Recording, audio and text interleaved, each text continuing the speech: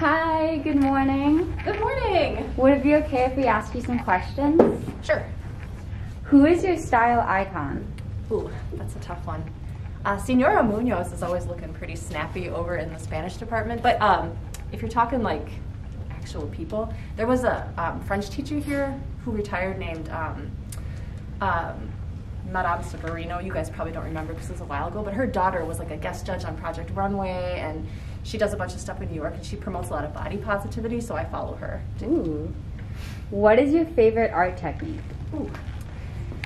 I kind of feel like I fall in love with whatever I'm teaching at the moment. Um, but the first thing, I guess this is popping into my head now, but sometimes like after you do a watercolor or a charcoal painting, when you pull off the tape that you used to hold it down, it makes this really clean line and it's super satisfying. Like it just feels good. What is a class you can never teach? Oh, maybe gym. I feel like that's really high energy. I mean, not that I'm, I don't like to work out. I just, I just don't know if I can handle that. Good job, bots. um, what is your favorite thing about teaching art? Um, I would say probably the students. Um, um, I I think the relationships that um, you make with students is pretty great. And then even when they graduate, you can follow them on social media and see where they're at, and that's really pretty awesome. How did last year affect your teaching style for this year? Oh, I would say if I learned anything last year, it's that sometimes you just have to prioritize what's most important, like keeping things simple. I think that's maybe good all the time, not just not just in a pandemic year. Yeah. What medium are you best with, and what medium is your favorite? Um, I I would say I really enjoy printmaking a lot, um, and anything probably two dimensional mixed media. Although I do really enjoy the Potter's Wheel too. It's it's a lot of fun. Uh, sweet, salty, or savory? I would say this time of year sweet.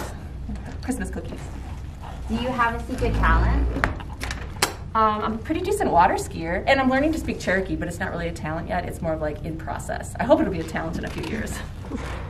How would you define beauty? Um, do you mean like people beauty or just like the concept of beauty? Either one.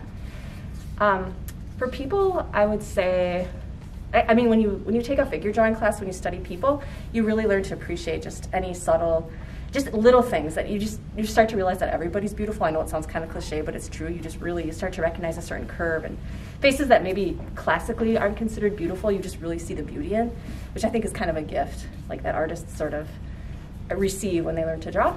Um, but just I think in general, like otherwise it's sort of just like personality kind of shines through. Yeah. What is the best compliment you've ever received? Um, this is random, but it was from a dog. One time in college, I had to, the assignment was to sculpt this apple, and I sculpted it and I painted it and I took it home and I had it sitting on a shelf. And then all of a sudden, we heard this mad barking from the basement, and we went downstairs, and the dog thought it was real and he tried to eat it. So I was very flattered that he thought my sculpture looked so real that he tried to eat it. All right, thank you so much. Yeah, thank you.